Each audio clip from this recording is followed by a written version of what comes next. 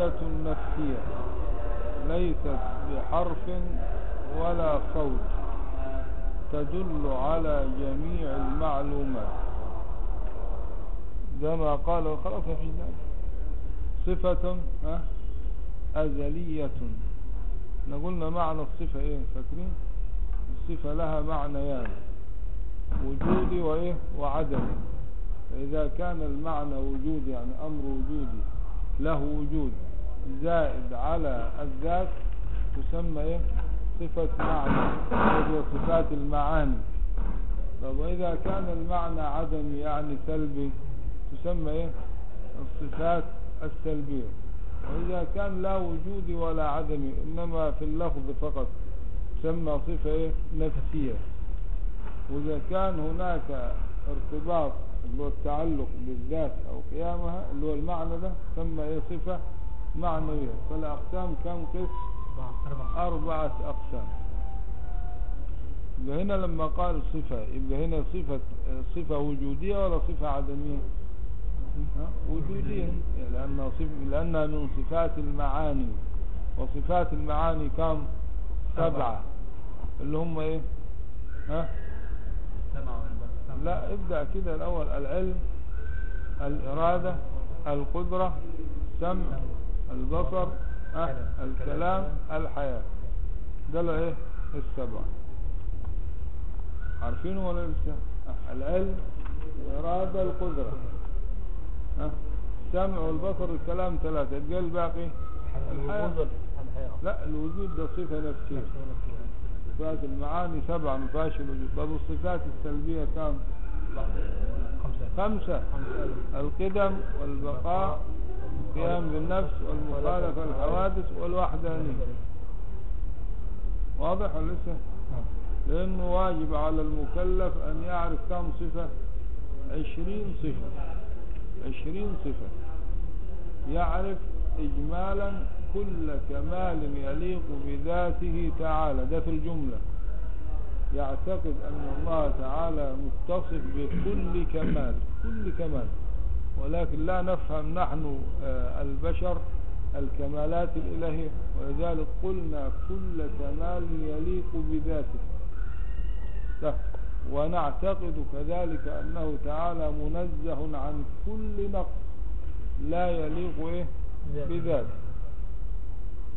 يبقى إذا هذا هو إيه؟ اسمه الاعتقاد إيه؟ إجمالا. أما تفصيلا واجب على المكلف ومن هم المكلفون؟ من المكلفون؟ ها؟ المكلفون هم الإنس والجن. أما الملائكة لا تكليف. عبادتهم تشريف وجبلية يعني بحكم الخلقة. لا يعصون الله ما أمرهم.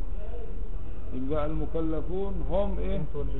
الإنس والجن. اللي هم إيه؟ ربنا سبحانه وتعالى قال إيه؟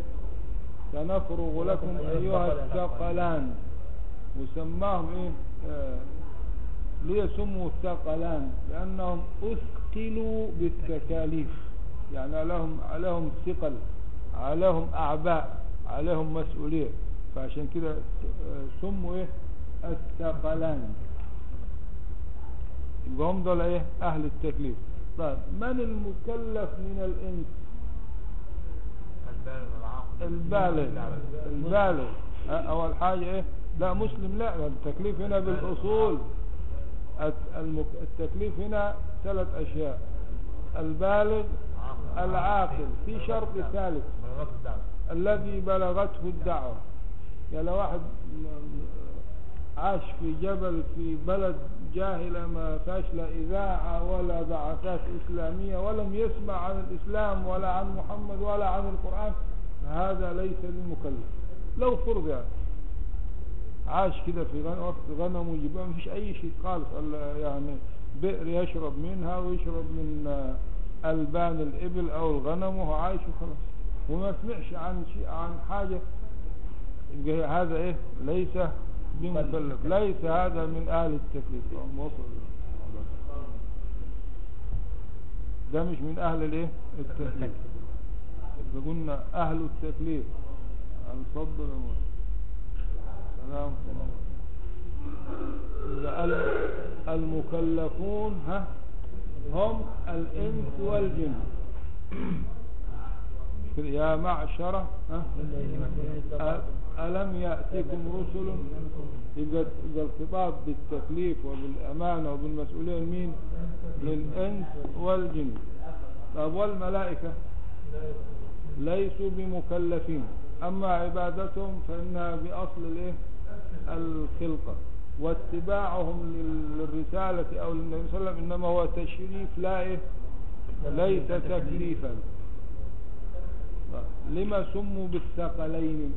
لأنهم أث- أثقلتهم التكاليف أو الأعباء أو المسؤولية أو مثلا الذنوب اللي ارتكبوها أو المعاصي.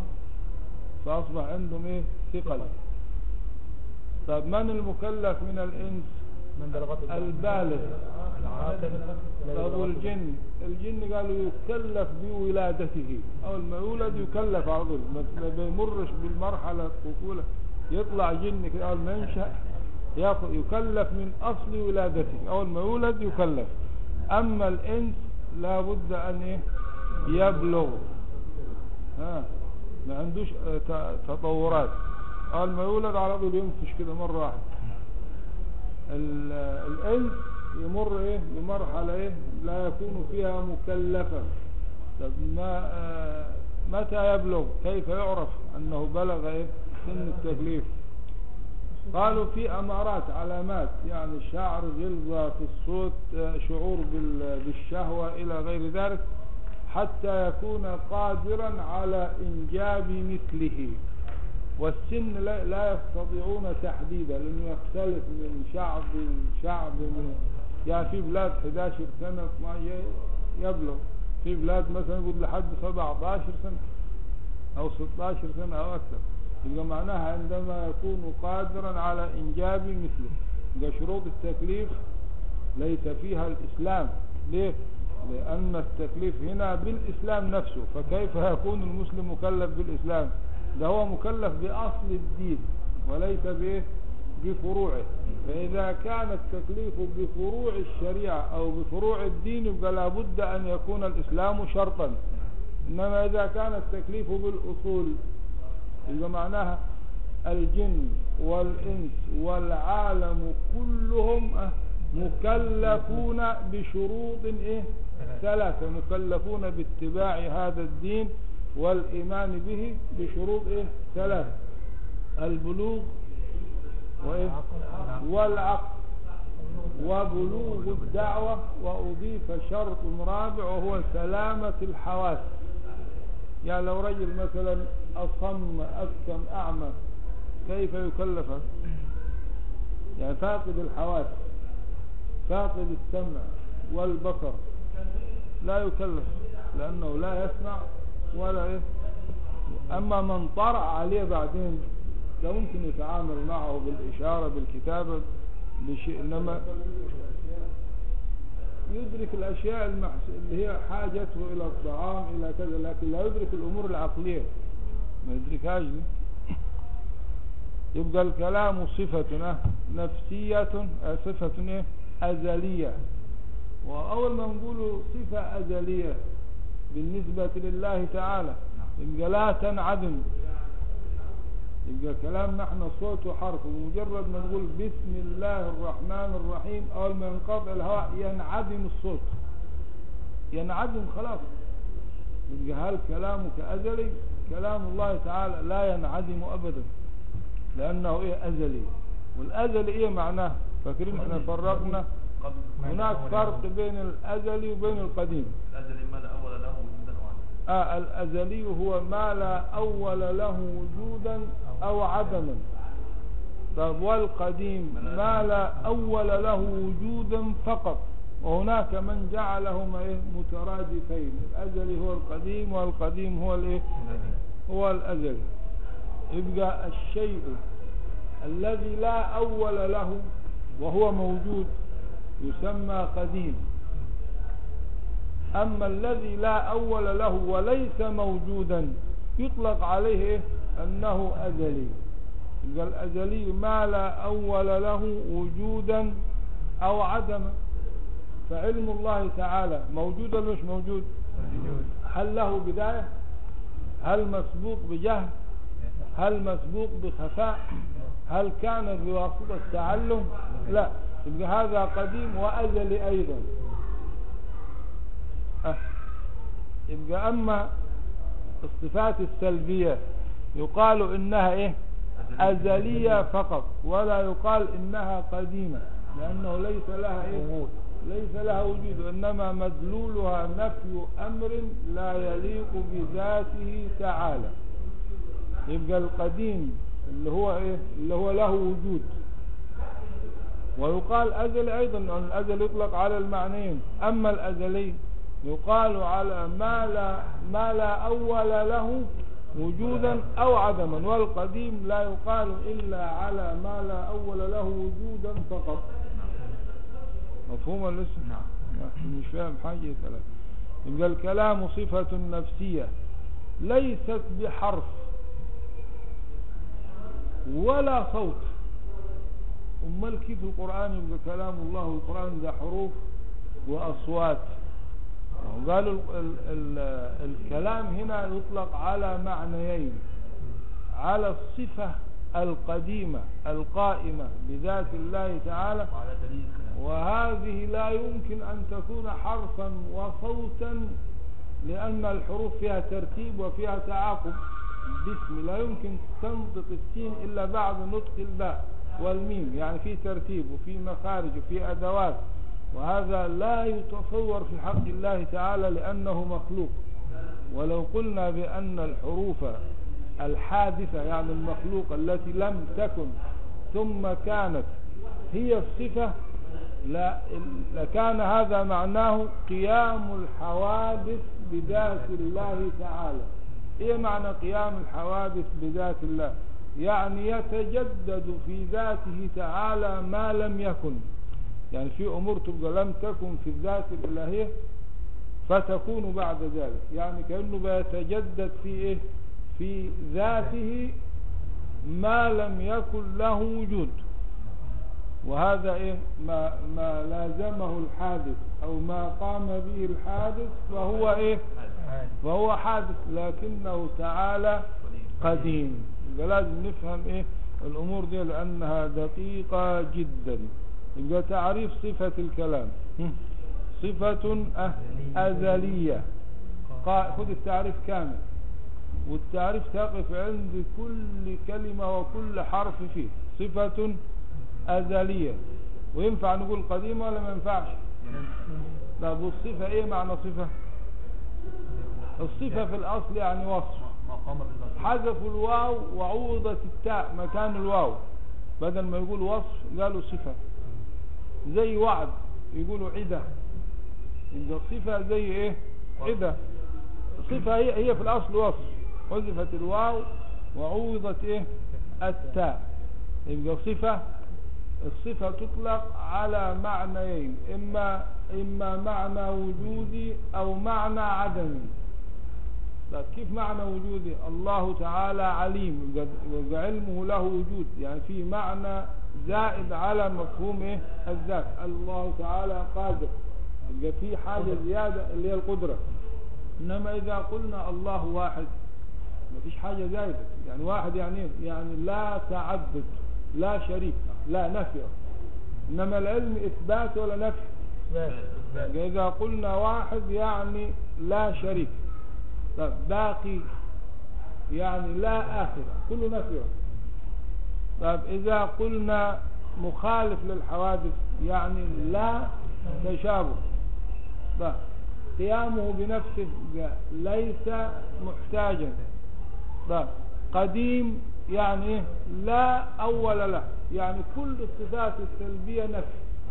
والنفي كيف يكون النفي له وجود؟ ده هو عدم وجود. عدم. عدم وجود شيء. يعني مدلول الصفات السلبية نفي أمر لا يليق بذاته. فإذا قلنا الله واحد يعني معناه نفي التعدد. قديم يعني نفي البداية نفي الأولية. ليه؟ لأنه كل ما عداه تعالى له أولية يعني له بداية. الخلق جميعا من عرشه إلى فرشه له أولية. كما بدأنا. يعني في بداية. كما بدأكم. الله يبدأ الخلق ثم يعيده. في في بداية للخلق أما ليه ملهوش بداية. الحق سبحانه وتعالى وحده. ذاته وإيه؟ وصفاته. فقط. غير كده لا. يبقى معنى كده الكلام صفة. فهمنا كلمة خد- بالك. قف عند كل كلمة. صفة. ها؟ أزلية. وينفع نقول قديم؟ لأنه الأزل هنا مرادف للقديم. قائمة بذاته. هي معنى قائمة بذاته؟ يعني ليست خارج ذاته. يعني الخلق مثلا صفة لكن المخلوقات مش في ذات الله. خارج إيه؟ منفصلين عنه. في تباين بين المخلوق وبين الإيه؟ أما ليس هناك انفصال أو انفكاك بين الذات الإلهية وبين الصفات. أهو معنى قائمة إيه؟ بذاته. منافية للسكوت والآفة.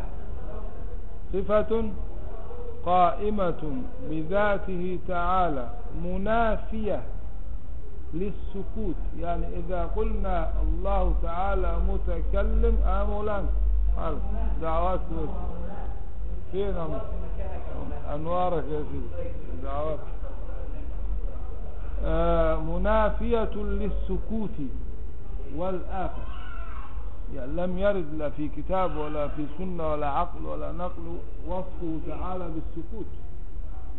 أما أنت توصف مثلا بأنك متكلم وإذا كنت صامتا يبقى اسمك إيه؟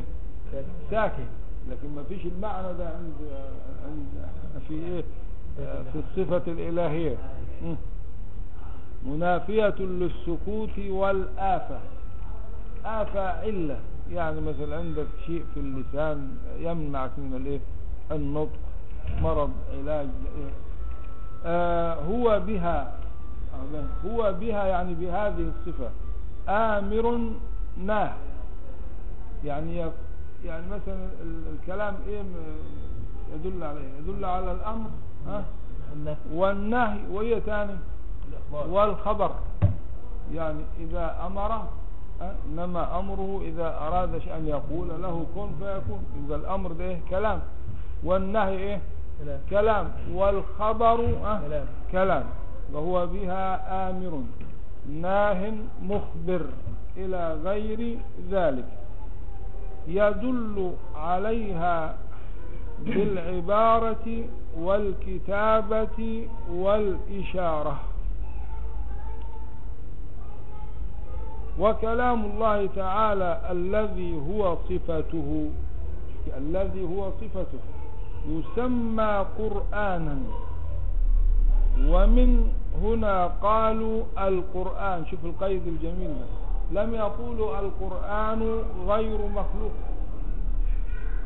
وإنما قيدوا القرآن كلام الله هو ذا اللي غير مخلوق. إنما القرآن إذا كان ألفاظ وحروف وسور وكلمات يبقى مخلوق. إنما إذا كانت صفة لله تعالى يبقى غير مخلوق. فهل ورد في عبارات السلف القرآن غير مخلوق ولكن قالوا القرآن كلام الله غير مخلوق؟ إذا كان المراد هو الصفة أن القائمة بذات الله تعالى يبقى غير مخلوق. أما إذا كان تلاوتنا وقراءتنا وحروفنا وأصواتنا فإذا كنا نحن مخلوقين فما قام بنا وبألسنتنا وبعقولنا فهو مخلوق. ولذلك شوف ال- ال- العبارة بتاعت الإمام أحمد رضي الله عنه يقول إيه ما كان ما قام بالخالق فهو غير مخلوق وما قام بالمخلوق فهو مخلوق.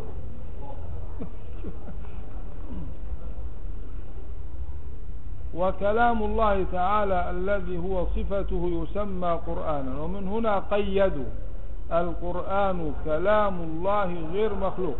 فلو قلت القرآن غير مخلوق مش هينفع. لأنه ده في نفس القرآن يقول لك محدث. ما يأتيهم من ذكر من ربهم محدث. يبقى إذا أردت بأنه غير مخلوق لازم تقيد كده. القرآن كلام الله غير مخلوق. وقيدوا عبارتهم هذه بقولهم وكلام الله. ليه؟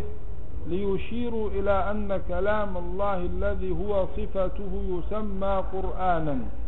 وخد بالك أجمعوا على إيه؟ مثلا لما اختلفوا في في البسملة قالوا إيه؟ قالوا نجمع على أنها ها البسملة جزء من آية من كلام الله من كلام الله تمام؟ ليه؟ لأن القرآن كلام الله. يبقى لم يختلفوا ها؟ في أن البسملة من كلام الله ولكن اختلفوا في قرآنيتها. هل هي من أو من الفاتحة فيجي واحد يستغرب طب إذا كان القرآن كلام الله إذا كانت البسملة كلام الله يبقى شا... يبقى قطعا تكون إيه؟ قرآنا. لأنه قال لك لا. ومن الذي قال إن الك... إن كلام الله منحصر في القرآن؟ هو كلام الله القرآن فقط؟ لما التوراة والإنجيل وما أنزله الله على يبقى ممكن تكون البسملة منزلة على كل الأنبياء من آدم وليس بشرط أن تكون قرآنا ولكنها بالقطع.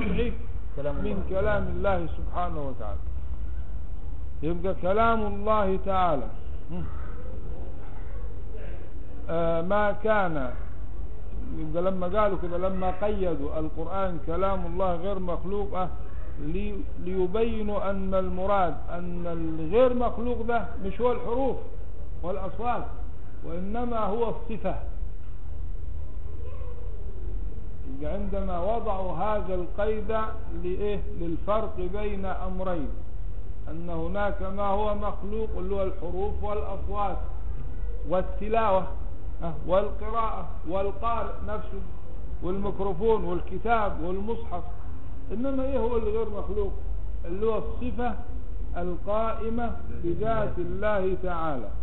ليشيروا إلى أن كلام الله الذي هو صفته يسمى قرآنا. وما كان صفة للباري سبحانه وتعالى يستحيل أن يكون مخلوقا.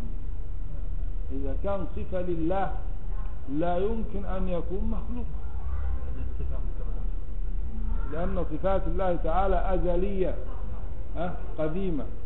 وكلام الله تعالى يطلق أداة يحدث اشتباه وذلك سمي علم التوحيد بعلم الكلام لأنه صفة الكلام هي أكثر الصفات إيه، فيها نزاع وخلاف بين الفرق الإسلامية. وأخذت يعني مباحث كثيرة جدا وبسببها ضلت فرق كبيرة زي المعتزلة إيه آه، مثلا.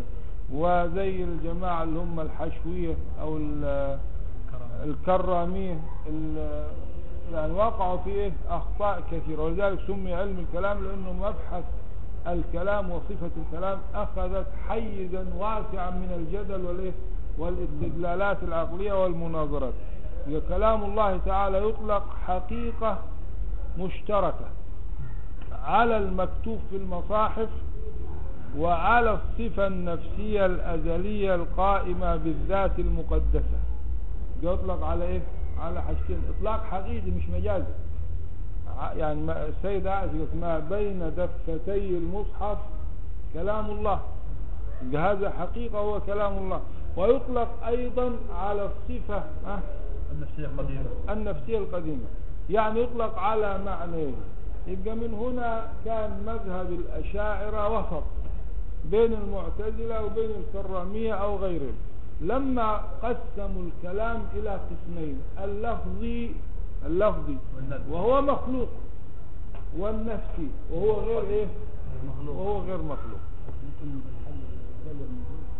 لسه بتكلم في الدم. كلام الله يطلق حقيقة مشتركة على حاجتين المكتوب في المصاحف وعلى الصفة النفسية الأزلية القائمة بالذات. جماهير أهل الإسلام الجمهور مش هنقول لك كله لأنه في طبعا المتأخر الحنابلة وفيه الجماعة الكرامية وفيه المجسمة وفيه المشبهة هنقول الجمهور اللي هو الوسط. جماهير أهل الإسلام جزموا بالقطع كده بأن الصوت والحرف حادثان لا محالة الصوت والحرف وجزموا بأن الحوادث لا تحل ولا تقوم في ذاته تعالى. هي معنى العبارة دي يمكن يعني صعبة على على بعض الناس. كل ما كان صوت وحرف لملك لإنس لجن فهو مخلوق وحادث. وجزموا بأن المخلوقات يعني الحوادث إيه معنى؟ لا, لا تتجدد في ذات الله تعالى صفة لم تكن فيه ثم تكون بعد ذلك. ده يستحيل على الله لأنه معناها هيبقى قبل وجوده يبقى في نقص. وهذه الصفة كملت هذا النقص وهذا محال على الله وده اللي إحنا مش فاهمينه. أما بالنسبة لأنت كل يوم تكمل شيء فشيء فشيء تتجدد لك أشياء في جسمك وفي فهمك وفي عقلك. حتى إذا تم إيه يبدأ النقصان. ما تم أمر إلا بدأ إيه؟ نقص. نقصه. توقع زوالا إذا ما قيل تم. يعني كان هارون الرشيد قاعد في أبهة الملك كده والسلطان فامرأة امرأة قالت له إيه؟ زادك الله رفعة. لقد قصدت من القصد يعني بما فعلت. فالناس يعني غضبت قالت لماذا تغضب؟ إنها إيه؟ تمدحك. قال إنها تدعو عليك قال ك- قالت أما قولها زادك الله رفعه فأرادت إيه. آه يعني إيه؟ قول الشاعر كده إذا ما ارتفع ما طار طير وارتفع إلا كما طار إيه؟ ك- وقع. يعني بعد ما يرتفع كل ما يرتفع زيادة كل ما يكون الوقوع له أثر شديد. فأرادت يعني أن أرتفع أرتفع عشان أنزل على إيه؟ مرة واحدة. وأما قولها لقد قصدت من القسط بما فعلت فما أرادت إلا قول الله تعالى وأما القاسطون فكانوا لجهنم حطبا اللغة طبعا. وقولها أتم الله أمرك. أرادت إيه؟ ما تم أمر إلا وبدأ إيه؟ نقصه وشرح للناس المعاني التي إيه؟ تريدها هذه المرأة الأعرابي شوف المرأة تكلمت بما لم يفهمه إلا الخلفاء. جماهير أهل الإسلام أهل الوسط أهل السنة والجماعة جزموا أه من الجزم والقطع أن الصوت والحرف حادثان. فلا يوجد في الكتاب أو في السنة إضافة الصوت إلى الله يعني مثلا لما تجد حديث مثلا في البخاري يناديهم بصوت يوم القيامة لم يقل يناديهم بصوته؟ يبقى لم يضف الصوت إليه يبقى ممكن ملك هو الذي؟ ينادي زي مثلا يوم آه، واستمع يوم ينادي المنادي هل المنادي هو الله ولا هو من يأمره الله تعالى أن ينادي في ربنا إننا سمعنا مناد المنادي هنا هو مين؟ هو رسول الله صلى الله عليه وسلم. يبقى يضاف الكلام إلى الله تعالى لكن لا تضاف الحروف ولا تضاف الأصوات. ليه؟ لأنها مخلوقة. وطالما هي مخلوقة يبقى هي من أفعاله وليست من صفاته. لأن صفاته تعالى إيه؟ قديمة. أزلية وأفعاله إيه؟ مخلوقة يبقى جماهير أهل نعم.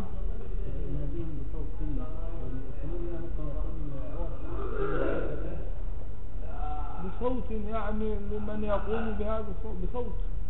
ولازم تنوه التنين أو بصوت من غير تنين. يبقى جماهير أهل الإسلام جزموا بأن الصوت والحرف حادثان. إيه معنى حادثان؟ يعني الحروف لم تكن موجودة. مخلوقة حادث يعني مخلوق. وفرق ابن تيمية ومحدش فرق. الحادث يعني مخلوق. محدش فرق بين الحادث والمخلوق إلا ابن تيمية. فقال لأنه ابن تيمية عنده في مذهبه أه أن الحوادث تقوم بذاته تعالى. فقال ما يخلقه الله تعالى في ذاته فهو حادث وما يخلقه خارج عن ذاته فهو مخلوق. هل هل سمعتم أن جنا أو إنسا فرق هذا الفرق؟ الحادث والمخلوق إيه معنى حادث؟ يعني لم يكن لم يكن فكان ثم كان. شيء لم يكن له وجود ثم أصبح موجودا فهو إيه؟ حادث. أهو معنى حادث. إيه ما الذي يقابل الحادث؟ القديم. القديم أو الأزلي. لأن القديم لا أول له والحادث ما له أول. وطالما له أول يبقى له إيه؟ له بداية. انت ما تعرفش هنا مثلا لما يجي بعض الناس يقول كيف له أول؟ يعني معناها له أول يعني إيه يعني العالم ده الخلق العرش أي شيء مخلوق. مش له بداية مش له أولية. بس كيف يصف الله تعالى في القرآن نفسه بأنه هو الأول مع أنه تعالى لا أول له ولا آخر له وحصر الغريب جابها بأسلوب الحصر هو الأول والجملة المعرفة الجزئين في اللغة العربية تفيد الحصر بانحصار الأولية فيه وحده وكذلك الآخرية. يبقى هنا لو فهمناها بالمعنى اللي إحنا نفهمه بالنسبة للحوادث هنقع في إيه؟ تناقض عقلي. لأنه إذا كان هو الأول لا يمكن يكون هو الآخر. وإذا كان هو الآخر مش ممكن يكون هو الأول. يبقى قال لك الأولية والآخرية لها إيه؟ لها معاني في اللغة العربية. منها ما يصح ما يناسب إطلاقه على الحوادث ومنها ما يناسب إطلاقه على الباري سبحانه وتعالى. فالأول في اللغة العربية إما بمعنى المبتدأ بمعنى الابتداء الابتداء يعني. أول واحد حضر في الدرس هذا. طب إذا كنت أنت أول واحد حضرت مش ممكن تكون أنت آخر واحد؟ آخر واحد اللي هيجي في الآخر. إذا إذا أنت وصفت بأنك الأول قبل ما تطلع النتيجة مش بيطلع في الترتيب الطالب فلان الأول على الدفعة؟ نعم. هل يكون يعقل أن يكون هو هو الآخر برضه؟ ثم كيف يبقى ربنا هو الأول والآخر قال لك بين لها معنيان. الأول بمعنى الابتداء والآخر بمعنى الانتهاء. يبقى الأول بمعنى الابتداء يقابله الآخر بمعنى الايه؟ أما الأول بمعنى السبق على الأشياء يقابله الآخر بمعنى البقاء. يبقى لما نقول هو الأول بالنسبة لله ليس معناها الابتداء لأنه ده في الخلق ده. يبقى معناه الأول هو إيه؟ السابق على وجود الأشياء. كما قال تعالى نحن قدرنا بينكم الموت وما نحن بمسبوقين. يعني لم يسبقنا شيء. لأن الله تعالى هو السابق وليس بإيه؟ بمسبوق. هنا الأولية هنا معناها السبق. إيه المقابل لها؟ الآخرية مش بمعنى الانتهاء بمعنى البقاء. فمعنى الأول بالنسبة لله أي السابق على الأشياء وليس معناها الابتداء. ومعنى الآخر بالنسبة لله أي الباقي. يبقى الآخرية معناها البقاء. من هنا ها لا يوجد تعارض ولا تناقض بين وصفه بالأول ووصفه بالآخر. إنما متى يوجد التعارض؟ إذا فهمنا الأولية بمعنى الابتداء والآخرية بمعنى الإيه؟ الانتهاء. يبقى هذا المعنى الذي يطلق على الحوادث يعني على الموجودات. أما المعنى الثاني هو الذي يطلق على الله زي كلمة القديم. لما نقول الأزهر مسجد قديم ونقول على الله تعالى قديم أو علمه تعالى قديم يبقى هل هذا هو نفس المعنى؟ لا. يبقى معنى القدم في اللغة العربية إما التوالي توالي الأزمنة على وجود شيء. فإذا توالت الأزمنة السنين والأيام على وجود شيء وطالت يسمى قديم. طب إيه أقل مدة يسمى بها الشيء قديما. قالوا إذا حال عليه حول. وأخذوا هذا المعنى. شوف مش معناه 200 حول ولا 500 سنة ولا 1000 قال أزهر لي أكثر من 1000 سنة وهو قديم. ولكن إذا كان له سنة واحدة يسمى قديم أيضا. والقمر قدرناه منازل حتى عاد كالعرجون القديم يعني منازل القمر بتتم في إيه؟ في حول. في دورة إيه؟ دورة السنة. والشمس تجري لمستقر لها ذلك تقدير العزيز والقمر. يبقى هذا المعنى اللي هو توالي الأزمنة على وجود الأشياء لا يمكن أن يكون هو المعنى المراد في حقه تعالى؟ بالقدم وما هي معنى القدم في حق الله تعالى؟ وليس معناه توالي الأزمنة لأن الزمن لا يدخل في وجود الله تعالى. الزمن يدخل في وجود المخلوقات كلها. ده لي سنة لي شهر لكن لا يمكن يقال, يقال عن الله تعالى لي كم سنة. لأنه هو الذي بدأ الزمن وخلق الأفلاك التي كان منها الشمس والقمر والمنازل والح- وال- والحساب. يبقى لا يدخل الزمن في وجود الله تعالى لا بداية ولا نهاية. وإنما يدخل في وجود مين؟ المخلوقات بأسرها. وفي تعريفين للزمن قلنا تعريف الفلاسفة وقلنا تعريف مين؟ المتكلمين. عند المتكلمين ال- الزمن ده إيه؟ ها؟ مقارنة بمجدد مقارنة متجدد بمتجدد فإذا كان لا فإذا لم يكن هناك حادث وحادث آخر لا يوجد الزمن أصلا. يعني, يعني الزمن متوقف على مقارنة متجدد بمتجدد عاوز أديك مثال تفهم إيه حقيقة الزمن. هو شيء وهمي ليس له حقيقة الوجود. زي ما نقول إيه؟ تارة نقول إذا إذا صلينا العصر يجيء, يجيء زيد زيد هيجي إذا صلينا العصر. كده نقول إيه؟ يجيء زيد. يعني متى؟ واحد يسأل كده متى يجيء زيد؟ فتقول إيه؟ إذا صلينا العصر. وتارة يسألك السؤال يقول لك إيه؟ متى نصلي العصر؟ فتقول إذا جاء زيد. فين يعني متى طلعت الشمس؟ تقول له عندما رجع فلان من السفر. متى رجع فلان من السفر؟ عندما طلعت الشمس. فلما يقترن وصوله بطلوع الشمس هنا يبقى في زمن. إنما إذا ما كان ما فيش اقتران شيء بشيء يبقى لا يوجد إيه لا يوجد زمن. فالزمن اعتبار. يعني متى ولد النبي صلى الله عليه وسلم؟ في عام الفيل. افرض ما كانش حاسس في الفيل كيف نقيد؟ حنقيد بحاجة ثانية متجددة. إنما إذا لم يتجدد الشيء فلا نستطيع أن فهو الانتزاع العقلي للمدد الموجودة من مقارنة شيء لشيء. وفي الحقيقة ما فيش زمن أمال في الز- الزمن هو إيه؟ قال لك الزمن في الحقيقة مين اللي بيقلب الأشياء دي ويقارنها ويجددها ببعضها ويربطها؟ ولذلك قال تعالى لا تسبوا الدهر فأنا الدهر.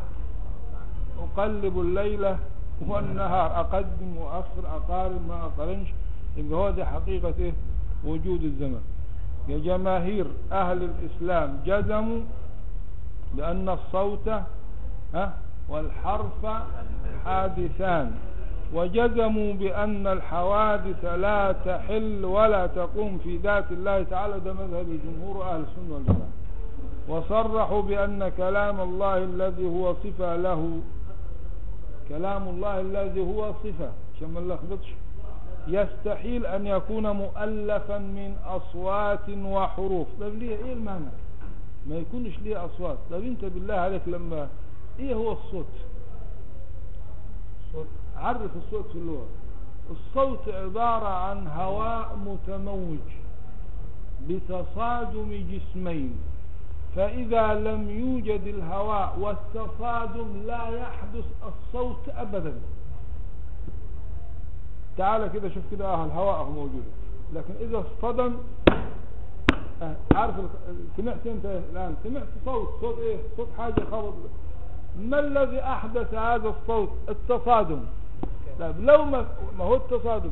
طب لو ما فيش هواء مش هتسمع مش هتنقل تنقل ال- ال- الصوت ده إلى أذنك إلا بعبر شبكات الاثير أو اللي بتحمل ال- ال- إلى الأذن الهواء ده.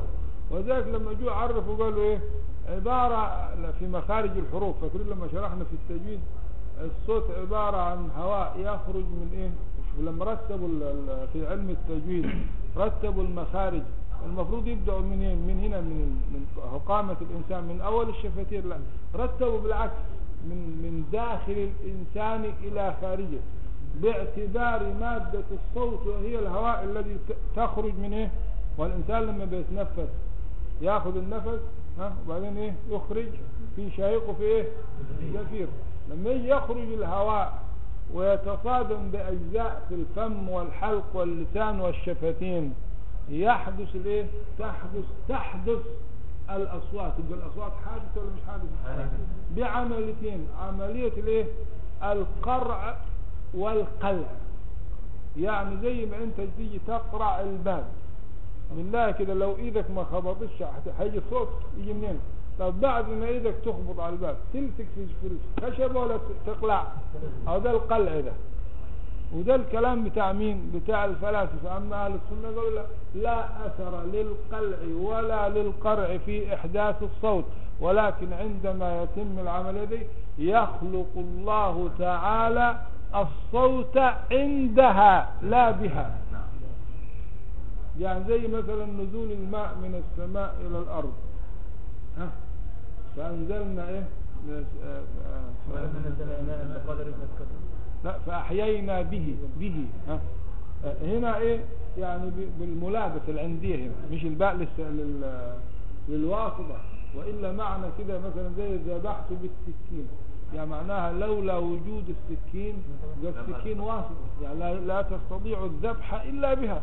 يبقى معنى كده كأن الله تعالى لا يستطيع إحياء الأرض ولا إنبات الزرع إلا بالماء. ولو قلنا كده يبقى إحنا جعلناه تعالى محتاج في أفعاله وهو له القدرة المطلقة يستطيع إحيائها بدون الايه الماء كما يستطيع خلق الجنين في أحشاء المرأة بدون واسطة الايه وحصل حصل تحرك بدون أي شيء لم يمسسني بشر لأن الله تعالى على كل شيء قدير. فلو كان يحيي بها أو يخلق بها هو محتاج في إيه؟ في أفعاله إلى الأدوات وإلى المعالجات وإلى الأشياء التي يحتاج إليها البشر كما يحتاج النجار إلى أدوات النجارة في المعالجة. يعني له اعمل كرسي كان أمهر نجار في العالم بدون أدوات النجارة. هل يستطيع صناعة الكرسي؟ يبقى كده معنى كده شبهت قدرة الله تعالى. لو قلت كده بأنه محتاج الحق إلى آلات. يبقى شبهت بمين؟ بالحوادث مع أنه تعالى يقول عن نفسه يقول للشيء كن. فيكون إن مثل عيسى عند الله كمثل آدم خلقه من تراب ثم قال له كن فيكون. يبقى هنا صرحوا بأن كلام الله تعالى الذي هو صفة له يستحيل أن يكون مؤلفا. يعني إيه مؤلف؟ يعني مركب.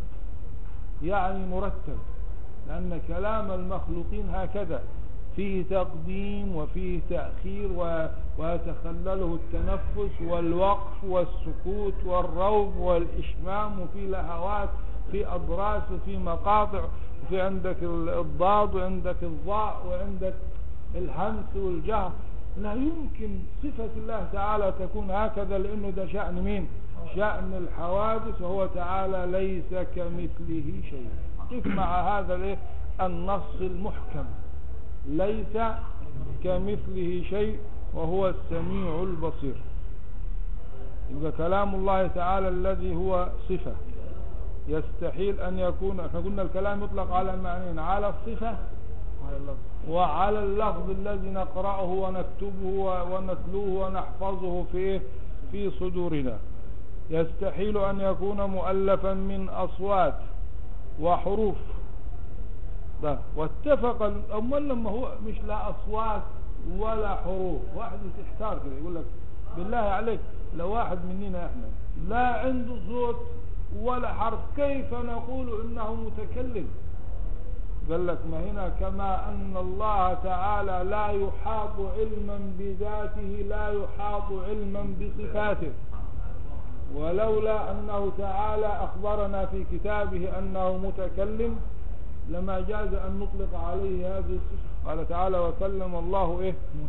مو- الصفة دليلها مش عقلي. ده دليلها نقلي. الصفة دي الصفات الثلاثة السمع والبصر والكلام دليلها إيه؟ نقل يعني مثلا ورد في مثلا نقول من من أسماء الله. من أسماء الله إيه؟ من أسماء الله إيه؟ السميع البصير مش إيه؟ نعم بالله عليك مش هو سميع وبصير ومتكلم. لماذا لم يرد في أسمائه المتكلم؟ ما فيش. إنه أسماء الله إيه؟ توقيفيه إنني معكما أسمع وأرى. ليس في أسمائه الرائي ولكن إيه؟ البصير. ما فيش المتكلم. مع إنه الكلام من الصفات الأساسية الصفات السبع. ولم يرد في الكتاب آه، أو في السنة إطلاق الكلام لله على أنه اسم في فرق بين الاسم والصفة. في اسم وفي صفة وفي فعل. فمثلا الأسماء نستطيع أن نحولها إلى صفات ولا نستطيع أن نعكس. ما نحولش الصفات إلى أسماء وإلا كان قلنا إيه آه، سميناه تعالى إنما كل اسم نأخذ منه صفة وليس العكس. ما تعكش لأنه الأسماء تحتاج إلى توقيف. إيه معنى التوقيف؟ يعني بتعليم الوحي اوقفنا عليها الوحي ولم نقف عليها بعقولنا أو بايه أو باجتهادنا. يبقى صرحوا بأن كلام الله تعالى الذي هو صفة له يستحيل أن يكون مؤلفا. ليه؟ لأنه لو كان مؤلفا ها؟ لكان متجزئا ومتبعضا وفيه تقديم وفيه تأخير وهذا إيه؟ معناه أنه إيه؟ حادث وأنه مشابه لكلام البشر. يستحيل أن يكون مؤلفا من أصوات. وقلنا أصوات نبت عدم بمجرد أن ننطق ونسكت. نسكت. فين التاء؟ انعدمت. فين الكاف؟ انعدمت قبل التاء. فين السين انعدمت قبل الكاف يبقى لكنه أزلي فلا ينعدم. ولذلك ملوش نهاية. قل لو كان البحر مدادا لكلمة لنفذ البحر قبل أن تنفذ. ولو جئنا ولو حتى بسبعة آلاف بحر. حتى الآية الثانية لو أن ما في الأرض من شجرة. ما نفذت كلمة لأنه ما ينفذ أو ما ينتهي أو يتلاشى أو يبيد هو المخلوق. أما كلام الله تعالى ذا ليس يتخلله سكوت ولا وقف يعني مثلا بعض الناس المغفلين لما كنا في الخليج يقول إيه أقول الحمد لله رب العالمين الرحمن الرحيم مالك يوم الدين إياك نعبد وإياك نستعين. ما ينفعش كده. ليه؟ أنا فكرت يقول لي مثلا تقف على رؤوس الآية سنة. ماشي. لكن هو متصور إيه؟ عشان فاهم الحديث بتاع قسمت الصلاة بيني وبين نصفين فاهم إنه ربنا واقف كده قدامه أول ما يقول الحمد لله رب يقول لك حمدني عبدي. ده لازم قال تدي فرصة ربنا يرد عليك. لما أنت تقولهم لما تقولهم ورا بعض كده يبقى مش هيلحق إيه؟ فهو قاس ربنا على إنه واحد إيه؟ أمامه واقف. شوف ال- الجهل. فأنا اعمل إيه مش عارف طالما وصل فهمه إلى هذه مش عارف مش هينفع أنا أتناقش معه. فقلت له يا أخي وأنا بصلي لوحدي ده معنى كده كلامك كل واحد بيصلي ليه رب خاص بيه ما شوف كام بيصلوا في المسجد الثاني في ابو ظبي مثلا في مصر وفي السودان. كيف ربنا هيرد حتى لو كل واحد وقف نص ساعة على الآية؟ أو ساعة قال الحمد لله رب العالمين راح نام وراح قال مالك مثلا. ما وبعدين خد بالك وإحنا الصلاة مش في وقت واحد. ده, ده هنا بيختلف التوقيت يعني معناها الناس بتصلي الليل نهار وآلاف مؤلفة. مش واضح خالص يا أخي من الصلاه فراح اتلخبط مع فهم ان هو كلامه إيه؟ غير صحيح. مش مش فاهم إيش فإنه آه، كلمة حمدني عبدي ومجدني ده كلام قديم. قيل قبل أن يخلق العبد. أمال إيه اللي هيحصل هيحدث التعلق بتاع الصفة أثناء الصلاة. مش الكلام نفسه. هو ما درسش إيه؟ مش فاهم. ده صرحوا بأن كلام الله الذي هو صفة له يستحيل أن يكون مؤلفا من أصوات وحروف. قلنا الحروف معدودة. كم حرف؟ ثمانية عشر 29 29 ما يقولش 28 29 خلافا للمبرد النحوي قال 28 ليه؟ لأنه جعل الهمزة والألف حرفا واحدا. ودليله قال أن في كل حرف في أوله الحرف له اسم وله إيه؟ مسمى. فمثلا كاف ده. كاف مش هو الحرف وإنما هو اسم الحرف. أما الحرف هو كاف جيم ليس هو الحرف أما الحرف إيه؟ جيم جيم. عشان تقول مثلا إيه؟ جمال حين. الجيم. اما تقول جيم ولا تقول جاء؟ إذا. الحرف هو جاء إنما الجيم ده اسم الحرف. قال في كل اسم حرف في أوله يوجد الحرف. فقالوا في أول الألف توجد الهمزة. مش كده. شوف كده كلام مبرر. قالوا ألف يبقى معناها الهمزة هي الألف لأن أول الألف همزة. فردوا عليه وقالوا له يلزم من كلامك أن تكون الهمزة الهاء هي الهمزة. لأن الهمزة في أولها همزة. يبقى كلامه مردود. يبقى الهمزة حرف والألف حرف. هم حرفين. والدليل على ذلك أنهما هجيب هديك مثال أوريك إن الهمزة غير الألف. سأل. إيه الحرف اللي معانا بعد السين؟ الهمزة. طيب. سائل. عندنا حرفين. تاء الألف وبعدها همزة. فكيف يكون الألف هي الهمزة ويجتمع الشيء مع نفسه؟ استحالة أنت تكون قاعد مع نفسك. يعني معناها في واحد قاعد قلت اثنين. يبقى الهمزة حرف والألف حرف بدليل أنهما يجتمعان ولا يجتمع الشيء مع نفسه. وتبدل ال- الألف عن الهمزة. كده نعم. والشيء لا يبدل من نفسه. بنبدل الهمزة ألف. زي مثلا لما يعني مثلا سأل في قراءة نافع يقول إيه سأل. أي إيه اللي حصل؟ أبدل الهمزة إيه؟ أبدلها ألف. وممكن تبدل الهمزة ياء زي ايتوني وممكن تبدل واو. مش كده؟ يبقى الألف حرف والهمزة إيه؟ حرف. والحروف مخلوقة.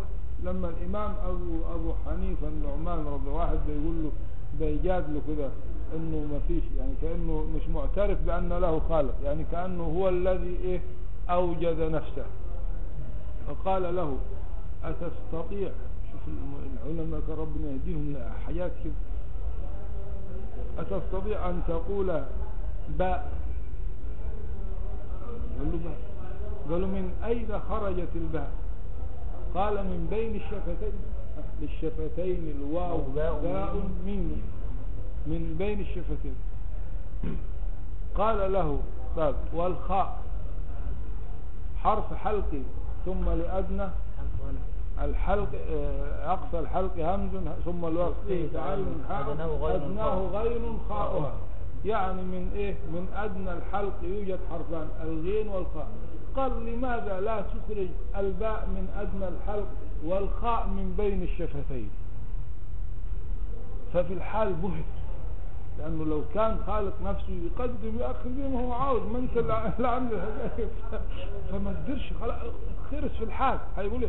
ما دامت انت الخالق أم خلقوا من غير شيء أم هم الخالقون. هات لنا الخاء حاجة سهلة.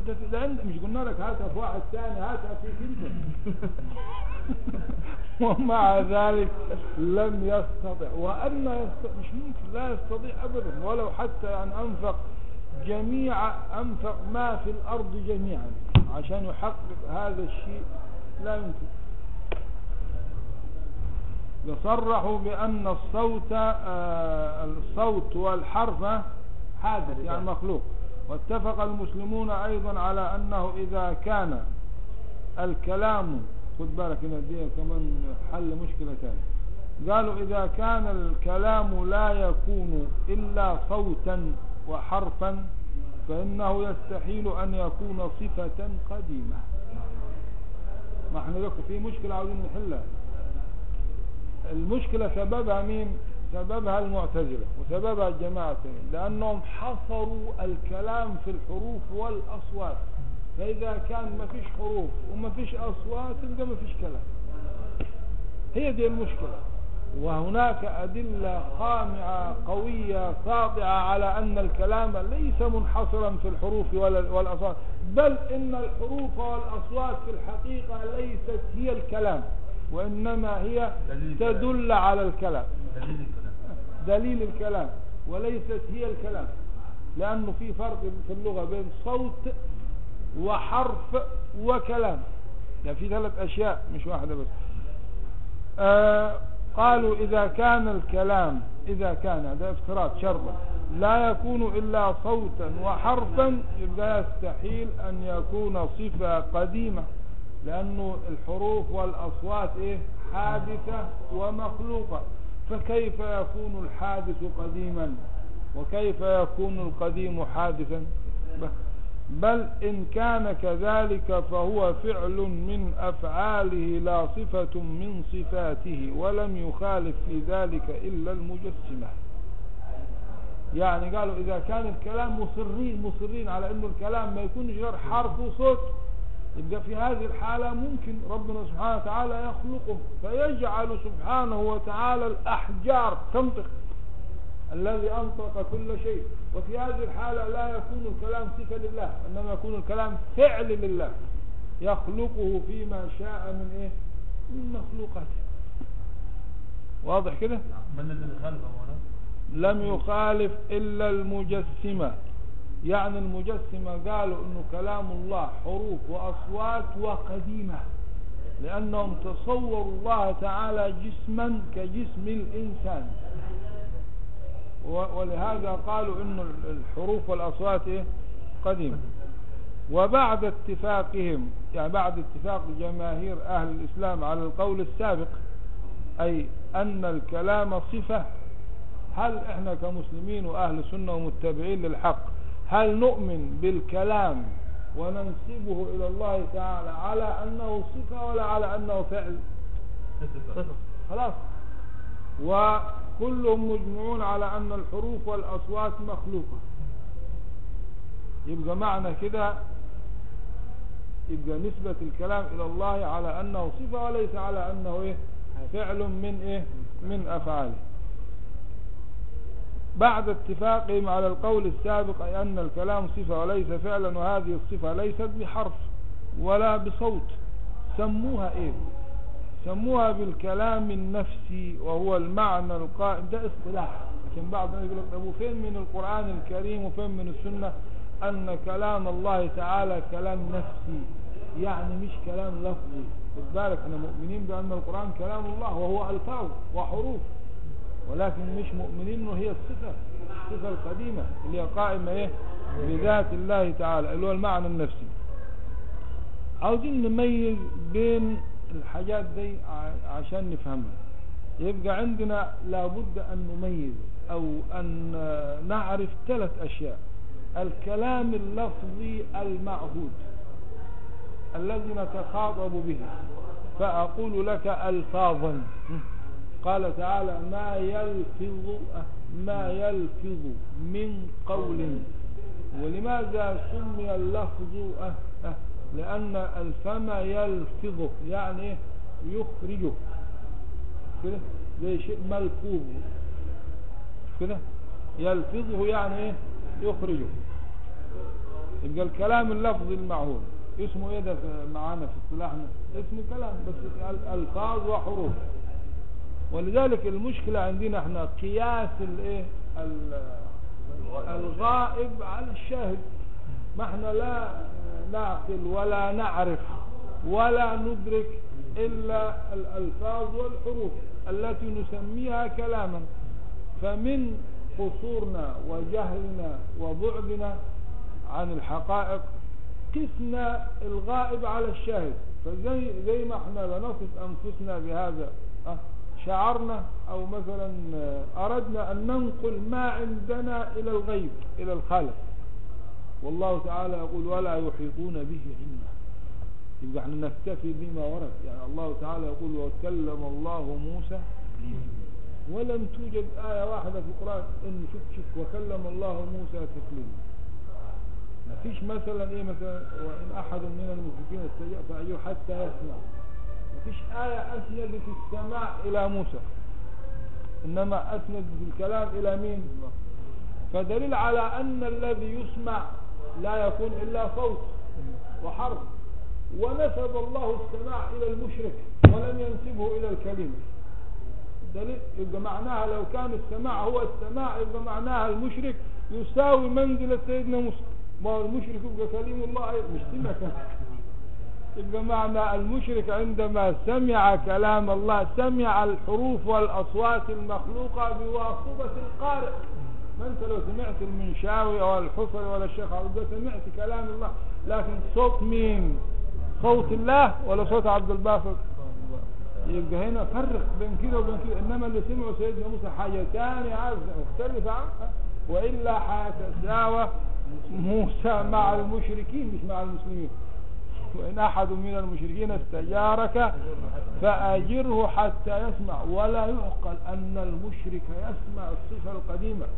وإلا ما كان لموسى عليه السلام أي ميزة على على غيره.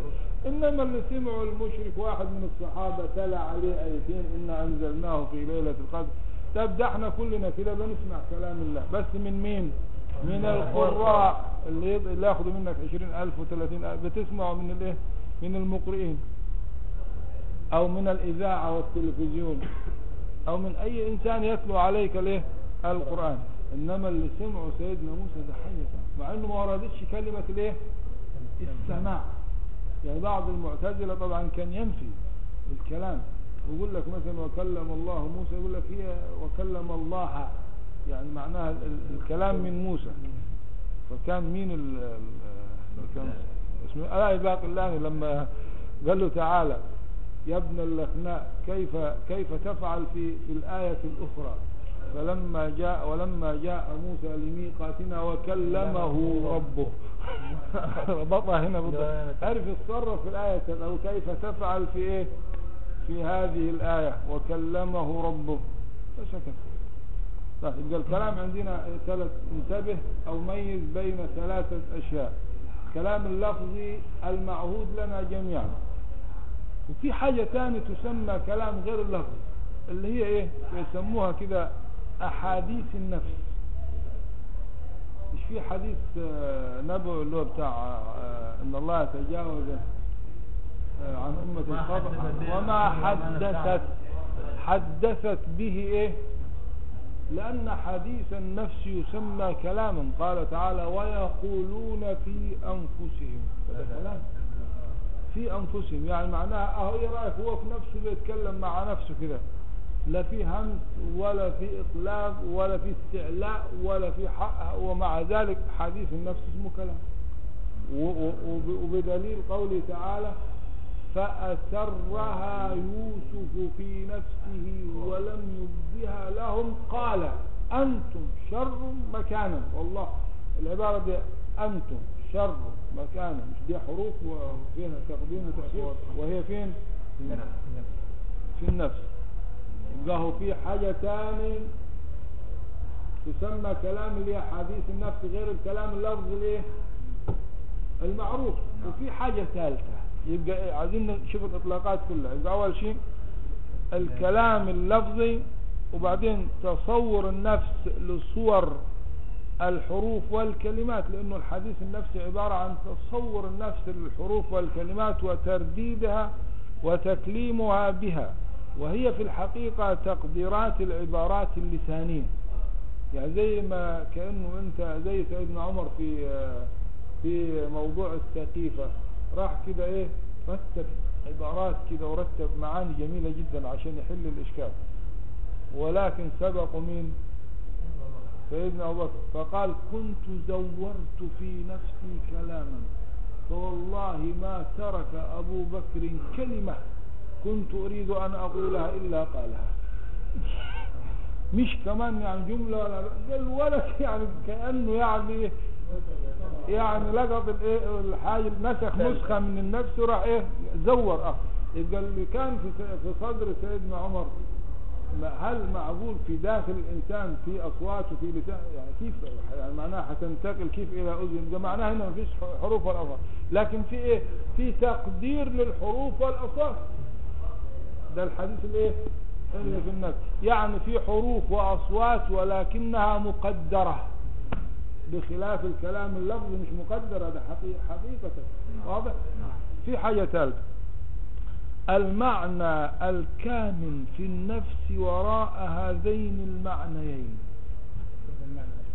آه إذا هنا لما أطلقوا آه الكلام النفسي لما أرادوا وصف الله تعالى الصفة النفسية وقالوا كلام نفسي ما أرادوا أحاديث النفس لأنها في, في بعض الناس يقول لك لما كل إنسان مخلوق عنده أحاديث. يبقى معنى كده ده أنت تبقى أكمل من الخالق ده أنت عندك كلامين عندك كلام لفظي وعندك كلام نفسي في نفسك والخالق ما عندوش غير كلام نفسي فقط.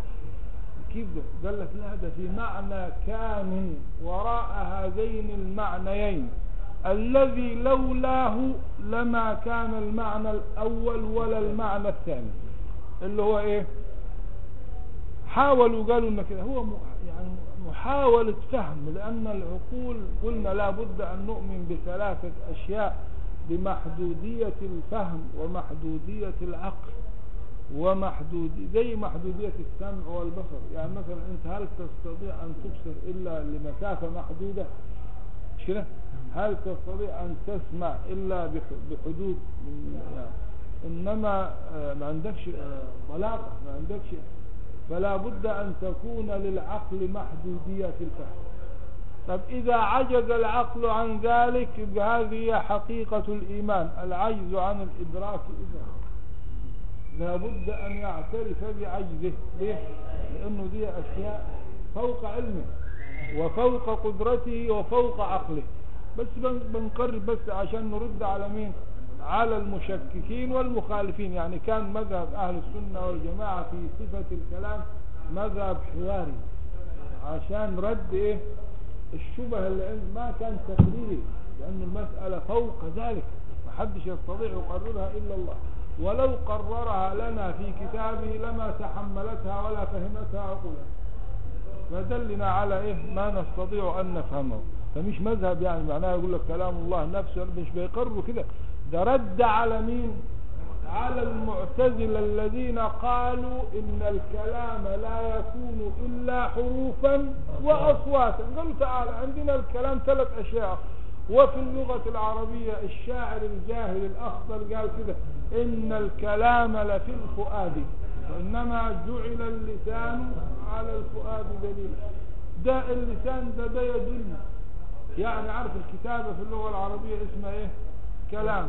والإشارة الإشارة اسمها كلام. فخرج على قومه فأوحى إليهم. أن أشار لأنه ده لأنه ربنا بيقول له آياتك ألا تكلم الناس ثلاث ليال سوية. كيف ما يتكلمش وكيف يقول لهم أن سبحوا قال لك بالإشارة.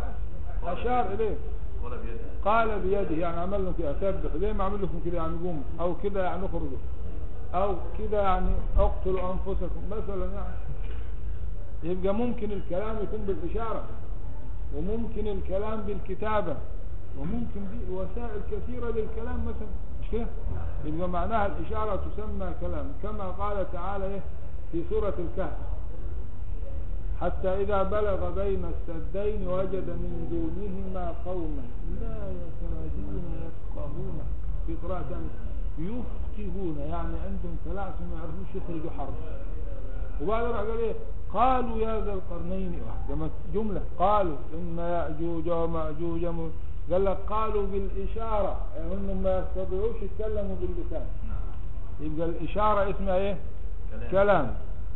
يبقى هنا عندنا كم معنى قلناهم؟ ثلاثة.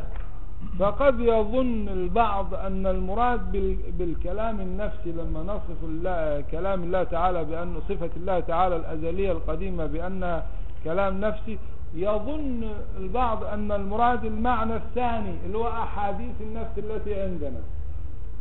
والتحقيق أن هذه الأمور لا يتصور وجودها مع عدم العبارات اللسانية. ده الرد الجميل ده. يعني إذا كان واحد من الناس يظن أن الكلام النفسي المراد بالنسبة لله المراد به آه، كما يراد بأحاديث النفس عند العبد نقول له تعالى أحاديث النفس دي لولا أن هناك عبارات لسانية هل توجد هذه الأحاديث؟ لا توجد أصلا. يبقى معناها وجود دي مرتبط بوجود إيه؟ الأخرى.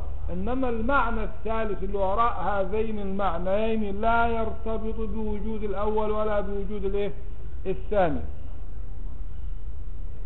ومثال هذا هنديك مثال يبين لك إنه مش المراد بالصفة النفسية أحاديث النفس.